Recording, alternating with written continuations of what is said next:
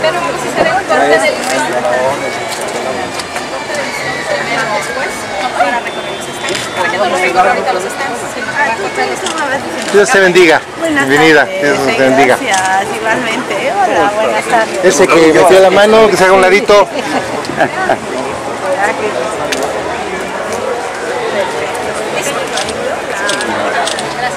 Bueno, para meter la mano, pero no para ayudar.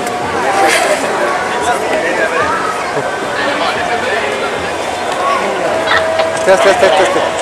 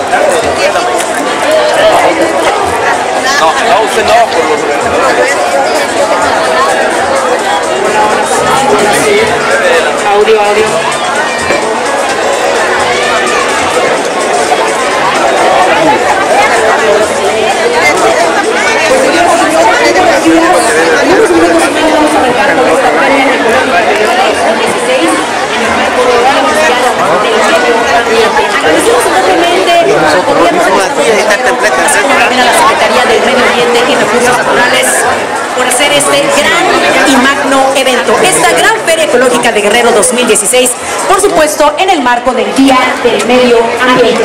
Señores y señores, dar inicio con esta inauguración, en donde tenemos preparado para todos ustedes un día con actividades increíbles. Vamos a pasar desde una subasta, vamos a hacer un rally ecológico, vamos a tener cuentacuentos, vamos a tener proyecciones también y por supuesto más de 60 stands que están aquí en la explanada del Parque Papagayo. Señoras y señores, en este momento hace su arribo a este recinto la señora Mercedes Calvo de Astudillo, presidenta del sistema DIF estatal.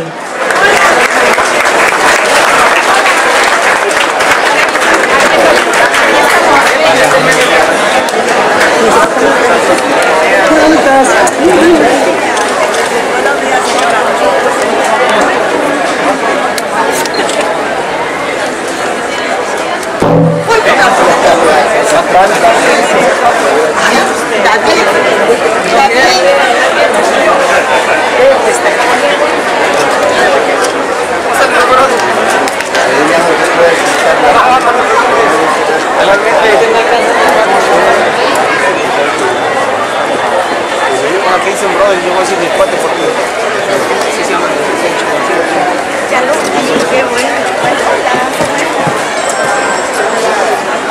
Audio, audio.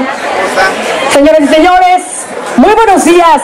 Bienvenidos sean todos ustedes a este gran evento denominado Feria Ecológica de Guerrero 2016 en el marco del Día Mundial del Medio Ambiente. Se encuentra con nosotros la señora Mercedes Calvo de Astudillo, presidenta del sistema DIF estatal.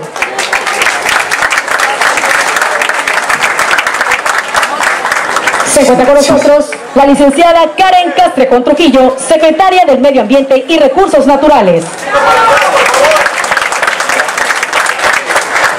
Agradecemos la presencia del médico veterinario zootecnista Martín Vargas Prieto, delegado de Semarnat. Se encuentra con nosotros la licenciada Marisela Ruiz Macié, delegada de la Profepa. Licenciado Alberto Molina, presidente municipal de San Marcos. Licenciado Edval Iván Sánchez, gerente de CONAFOR.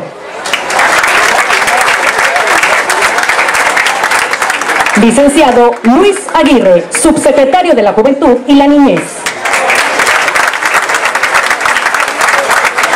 Licenciado Joel Tacuba, director de Ecología Acapulco. Mario Mendoza Castañeda, rector de la Universidad Americana de Acapulco. Maestro Víctor Corrín Arismendi, rector de la Universidad Español. Licenciado Mario Hernández Zamora, director general del Parque Papagayo. Y por supuesto nos acompaña el maestro José Pérez Victoriano, procurador de Protección Ecología. A continuación, señoras y señores, en el uso de la palabra, tenemos a la licenciada Karen Castrejón Trujillo, secretaria del Medio Ambiente y Recursos Naturales de Guerrero.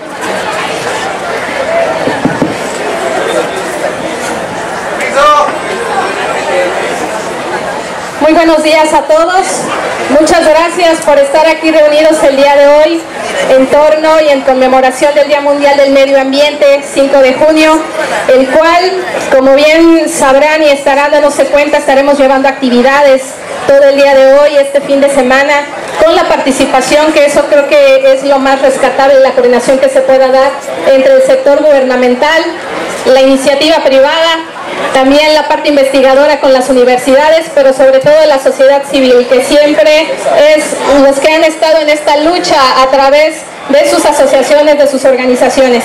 Y bueno, principalmente me da mucho gusto el día de hoy recibir y un saludo cordial a la señora Mercedes Calvo de Astudillo, presidenta del DIF estatal. Muchas gracias señora Mercedes por, por estar aquí con nosotros.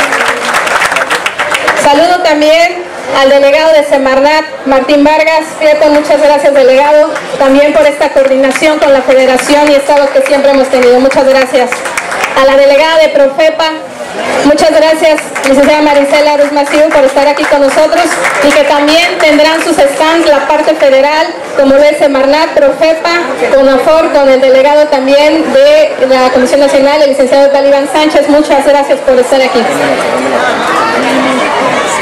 al presidente municipal de San Marcos, licenciado Carlos Molina, muchas gracias presidente municipal por su presencia. Al licenciado Joel Tacuba, director de Ecología y en representación también del presidente municipal, el licenciado Evodio Velázquez del municipio de Chilpancingo, de Acapulco, que con esa coordinación y participación precisamente de los municipios, el día de hoy también tienen aquí sus stands, tanto Acapulco como en ese sentido también tenemos de la región Costa Grande y Costa Chica algunos representantes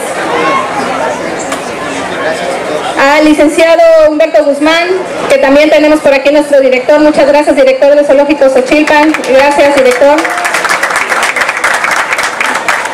La parte, como lo comento, de las universidades muy importante al maestro Mario Mendoza Castañeda. Muchas gracias, maestro rector de la Universidad Americana de Acapulco, con el cual también ya hemos tenido actividades previas muy importantes en la conservación y, sobre todo trabajando por nuestro medio ambiente. Muchas gracias, maestro. Al licenciado Víctor Manuel Jorín Arismendi, rector de la Universidad Español, muchas gracias también, que con la presencia de ellos resalta mucho el compromiso que tienen sobre todo en la materia de educación ambiental. Muchas gracias a ambos. Al subsecretario también de la Juventud, muchas gracias, muchas gracias Luis por estar aquí y precisamente sobre eso, eh, a todas las organizaciones que están con nosotros aquí, Guerreros Verdes, Juan Barnard, muchos de ellos. Bueno, darles la bienvenida al día de hoy en este día conmemorativo, donde es tan importante la participación que se tiene gubernamental, como lo acabo de comentar, y que el día de hoy tendremos actividades en las distintas áreas, como ustedes están viendo, tendremos 60 stands, donde cada uno de los expositores podrá dar a conocer a la ciudadanía, a los jóvenes, cuáles son las actividades que estamos trabajando en torno del medio ambiente. Algo muy importante también de rescatar y como ustedes saben, ha habido avances, sobre todo en este día tan importante, con los tratados que se han firmado a nivel internacional. Sin embargo, hay mucho que hacer todavía, muchas acciones en las cuales tendríamos que estar nosotros trabajando y es un compromiso de esta Secretaría, pero sobre todo del licenciado Héctor Astudillo, nuestro gobernador, el cual les manda a ustedes un gran saludo y que nosotros también desde aquí le, mandamos un saludo porque la verdad es que es un gobernador comprometido sobre todo con el cuidado del medio ambiente. Traemos una agenda muy importante en esta materia y quisiera eh, destacar precisamente que en el Plan Estatal de Desarrollo, el cual se acaba de aprobar eh, precisamente en el mes de abril, se logra que el tema ambiental quede como un eje transversal. ¿Esto que nos va a permitir? Pues precisamente poder llevar a cabo políticas públicas estratégicas sobre todo desde todas las instancias del gobierno, que significa que todos precisamente tendrían que estar llevando a cabo y bueno, el día de hoy tenemos la participación precisamente también muy activa de la Procuraduría Estatal Ecológica de, Protección. Tendríamos que tener también la participación aquí está de salud, de educación, donde todos ellos están llevando actividades precisamente en sus programas eh, a corto y mediano plazo, en donde de esta manera la coordinación que se puede dar a través de las distintas instancias, donde en, materia de, ecología, en materia de medio ambiente, hay un gran compromiso de, este, de esta administración. Y bueno, invitarlos precisamente a que puedan participar en todas las actividades que el día de hoy estaremos llevando. Muchas gracias a todos por su asistencia. Escuchamos las palabras de bienvenida de la licenciada Karen Castrejón Trujillo, secretaria del Medio Ambiente y Recursos Naturales de Guerrero. A continuación, escucharemos la intervención de la maestra Nayeli Hernández Crespo, vicepresidenta nacional del Consejo de Políticas Públicas del INJUVE, así como también Premio Nacional de la Juventud en Voluntariado. Hola, hola. Muy buenas tardes, muchísimas gracias. Primero que nada, pues de verdad agradecer la atenta invitación y la presencia aquí de todas y cada una de nuestras autoridades, empezando por la señora Mercedes Calvo. Eh, muchísimas gracias, Presidenta del DIF, por la invitación, por estar el día de hoy aquí presente, a la licenciada Karen Castrejón Trujillo, Secretaria de Medio Ambiente y Recursos Naturales, al delegado de Semarnat, eh, Martín Vargas Prieto, mucho gusto, muchas gracias, y a la delegada de Profepa, la licenciada Marisela Ruiz Maciú, de verdad agradezco, así como a todos los miembros de esta mesa presidium, especial a todos ustedes que el día de hoy pues nos acompañan con su presencia y por ahí, si en los stands me están escuchando, de verdad quiero felicitar y enaltecer el día de hoy el trabajo coordinado que están haciendo entre lo que son las instituciones educativas, el sector privado, el sector gobierno. ¿Por qué? Precisamente porque esto es un tema que nos compete a todos. Me encuentro el día de hoy aquí para compartirles una experiencia desde el Estado hermano de Yucatán. Pertenecemos a la misma región y feliz de poder presenciar, de poder disfrutar al día de hoy, el día de ayer, disfruté de un atardecer impresionante, de verdad, precioso aquí en Guerrero, que es el estado, el pulmón verde de México, denominado, calificado así, cuarto lugar por su riqueza en biodiversidad. Felicitaciones. Es una bendición ser guerrerenses y debe ser un orgullo para cada uno de ustedes estar acá y disfrutar de todas y cada una de esas riquezas naturales. Pero hay un tema, hay un tema que a todos y cada uno de las personas que vivimos en este maravilloso planeta ahora nos ocupa, que es atender el tema de mitigación y adaptación a lo que son los efectos del cambio climático. Vivimos en una historia trascendental, en donde ustedes jóvenes, nosotros, tenemos que escribir una historia, pero de manera coordinada, con la experiencia de, todos y cada uno de nosotros, puesto que el calor veo que a todos nos afecta.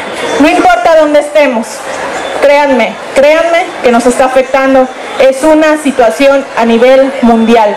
Y estos pasos, estos pasos que se den de manera firme, de manera constante, pero sobre todo de manera comprometida para tratar de mitigar y de adaptarnos a estos cambios son lo que se deben de fortalecer, se deben de implementar, empezando desde las bases, una sólida educación ambiental, seamos ciudadanos conscientes, siguiendo de políticas públicas que nos permitan desarrollar una economía verde en nuestro estado, en nuestra región, a nivel nacional. Actualmente eh, tengo el honor de ser directora de la sede de uno de los concursos más importantes a nivel nacional y Latinoamérica que promueve precisamente eso, el impulso del emprendimiento sustentable en todo nuestro país. Creo que más adelante tendré la oportunidad de hablarles mucho más al respecto. Y es ahí donde se ve de verdad se palpa y se demuestra el talento creativo y la propuesta real de todos nosotros como mexicanos en poder enfocar ese espíritu y liderazgo emprendedor a tener un impacto sustentable. Con ello quiero decir un impacto positivo en nuestra economía, en nuestra sociedad y en nuestro medio ambiente.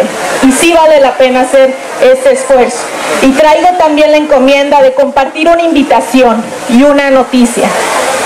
Como miembro de la Comisión de Evaluación de la Delegación de Jóvenes que estaremos trabajando rumbo a la COP13, que se realizará, si saben, la COP13 se va a llevar a cabo en Cancún, Quintana Roo.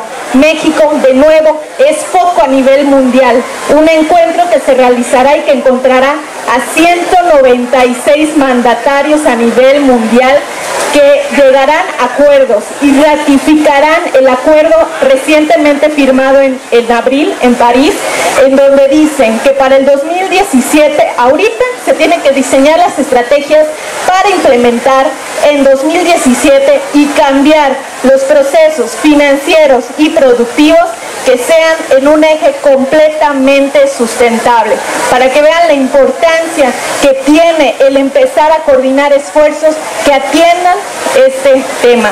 Y en noviembre, a finales de noviembre, les invito, todo aquel joven que quiera tener quiera tener una participación activa, una propuesta, que quiera vivir y compartir experiencias, porque créanme, no están solos, esto lo están viviendo y hay una movilización a nivel nacional de jóvenes entusiasmados que en coordinación con instituciones educativas, sector privado y gobierno estamos caminando para construir esas políticas.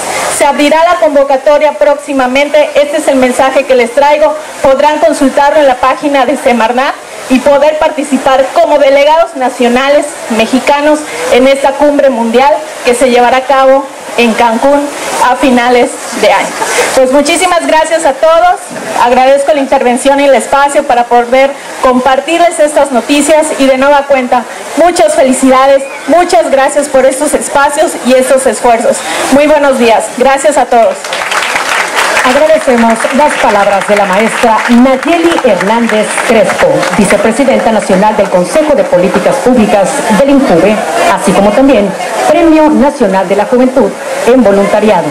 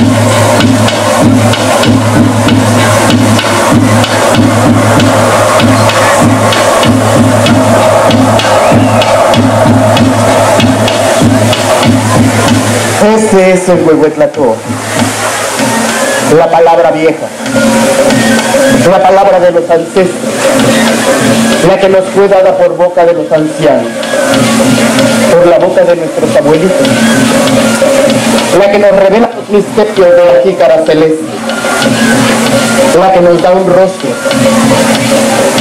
la que ilumina nuestro corazón. Y del árbol de la palabra vieja, voy a cortar una flor para contarles cómo fue creado el mundo, el sol y la luna. Había dos hermanos que habitaban en el fondo del mar, Cheipacomat y Yacomat. Tenían los ojos cerrados pues la sal les quemaba los ojos. Día, Chelpacomat decidió emerger. Y al ver que estaba todo oscuro, le habló a su hermano y le dijo, ven. Su hermano abrió los ojos y emergió del fondo del mar. Sin embargo, al abrir los ojos, estos se le quemaron, por lo que decidió regresar hasta allá, hasta el fondo. Y ahora, cada vez que este hermano se enoja, hace que la tierra se mueva. Cheipacomat, al salir y ver que no había nada, creó las hormigas y las hormigas empezaron a juntarse una sobre la otra hasta crear los arrecifes. Y de los arrecifes emergió la tierra y cuando salió vio que hacía falta vida, por lo que creó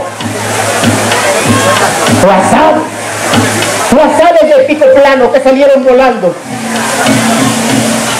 Sin embargo, estas aves se perdían, pues no había luz ni había nada. Por lo que Cheipacomat tomó lodo negro, lodo amarillo, lo unió, hizo una bola y la aventó hacia lo alto del cielo. Y allá se quedó. Comenzó a iluminar, pero era tan débil la iluminación que fue solamente nombrada la luna. Por lo que decidió crear otra bola. Tomó lodo rojo, lodo amarillo y lodo negro e hizo una bola más grande que aventó hacia el cielo y allá quedó. Comenzó a brillar, comenzó a iluminar y ese es nuestro sol. Después, Cheitomat, Cheitomat se fue hacia el oriente y allá se transformó en una enorme, enorme serpiente. Y en su panza se encontraba todo el conocimiento y la sabiduría reunidos. Los humanos que habían sido creados de barro por Cheicomat hicieron un centro ceremonial. Y quisieron cantar y quisieron hablar y quisieron hacer ceremoniales pero no podían. Por lo que decidieron ir a buscar a la serpiente que en ese momento cambió su nombre por Meyawi. Fueron a buscar a Meyawi. Llegó uno de ellos y encontró una gran tinaja con un hoyo al centro. Ah, se metió y cuando entró la serpiente volvió a verlo Ah, preguntando ¿quién eres tú? ¿quién eres tú?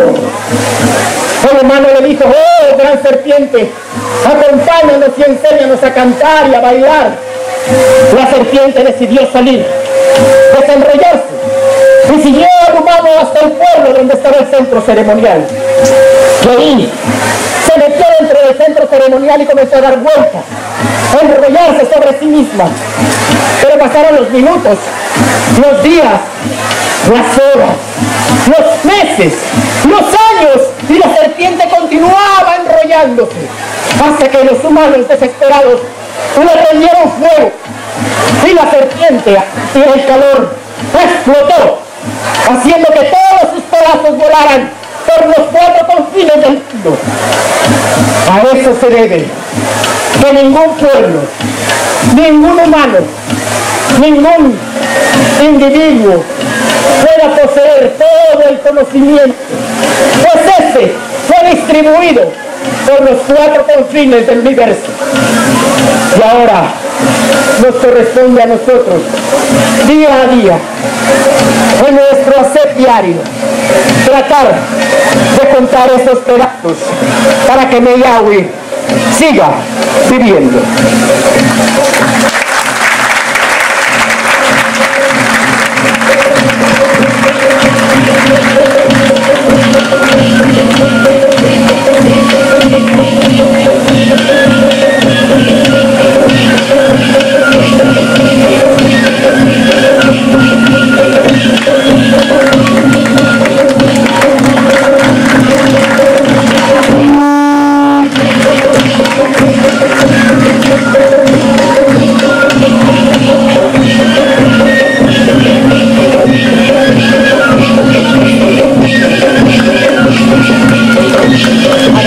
Adelante a Manuel Maciel.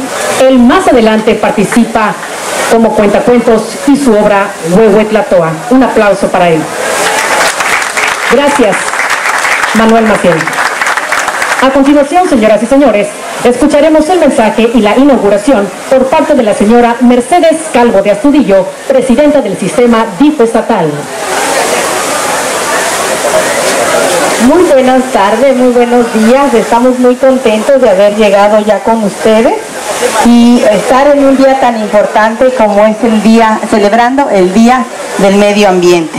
Entre todos podemos lograrlo, mejorar y tener una, una conciencia más precisa de todo lo que nos corresponde a cada uno. Me da mucho gusto estar aquí con nuestra secretaria de Medio Ambiente, la licenciada Karen Castrejón, el delegado Martín, nos da mucho gusto. Eh, Iván, eh, Jorrín, muchísimas, licenciado Jorrín, Mario, Mario eh, de la universidad. Ay, perdón. Y también aquí del Parque Papagayo, el licenciado Mario. Estamos muy contentos, Marisela, este, Luisito, Juan Carlos, nuestro presidente de San Marcos, agradecerle a, la representación del ayuntamiento y pues el delegado del, del gobierno del estado.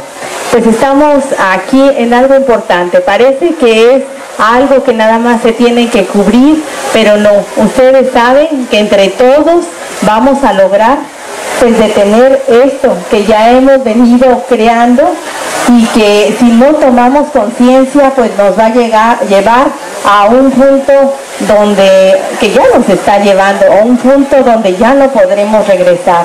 Yo invito a todos los jóvenes, a todos les agradezco porque hay representaciones de todos ustedes, de bachilleres, de muchas, muchas de las escuelas, de, del agua, de mucho, mucho las guerreras verdes, de todos, los que nos encontramos aquí del grupo ACA, sociedad eh, civil participando y en esto entre todos va a ser la manera como vamos a poder nosotros revertir todos estos daños.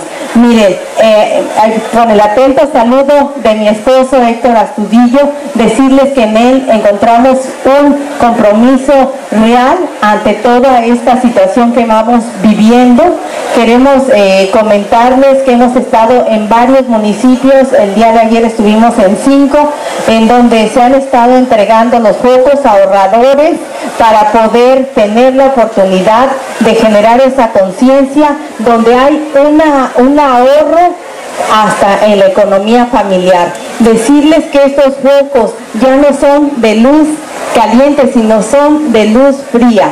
Y como lo venimos comentando en los diversos municipios, es que el gasto que se genera al conectar un foco únicamente será el gasto para generar la luz y no para generar el calor. En esto vamos a hacer entrega de estos eh, focos ahorradores nada más de manera simbólica al, señor Rogelio Franco López de la colonia Arroyo Seco. Pásele señor, buenas tardes. Ah, gracias. Sí, véngase por acá, señor. Véngase, don Rogelio, de la colonia Brisas del Mar, en pie de la cuesta, la señora Anabel Benítez de la O. Muchísimas gracias, señora. Mucho gusto, señora, ¿eh? Eh, Gracias. Decirles también que de pie de la cuesta, la señora María Guadalupe Sánchez Alemán. Muchas gracias, señora. ¿eh?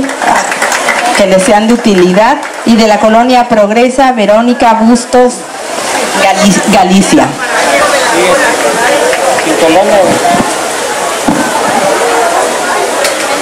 Bueno, de la señora Teresa Guzmán de la colonia Cumbres de, Llano Largo.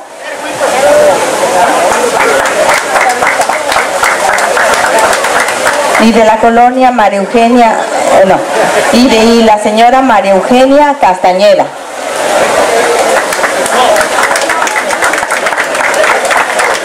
Esto ha sido eh, algo que se ha venido haciendo en los diferentes municipios. Les decía, ayer nada más estuvimos en, en la Costa Chica y tuvimos la oportunidad de entregarlos junto con el FIDE y en esto encontramos pues el sentido de responsabilidad y decirles que bueno, en esto eh, mi esposo Héctor Astudillo pues es algo que nos ha pedido que lo hagamos lo más rápido posible para tomar acciones, iniciar acciones que realmente repercutan en mejora de nuestro medio ambiente. Mucho gusto, muchas gracias.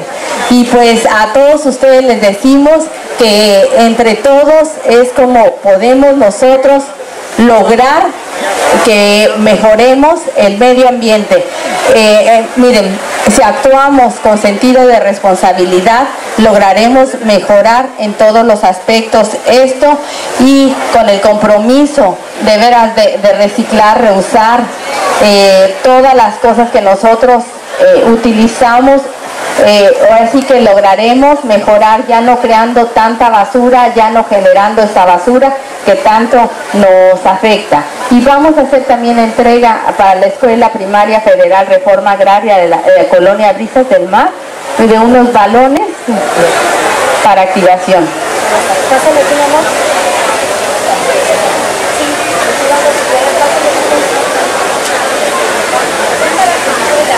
A ver, mi amor, recíbelo Son para la escuela, para realizar la activación y agradecido con ustedes de que estén aquí presentes. Gracias.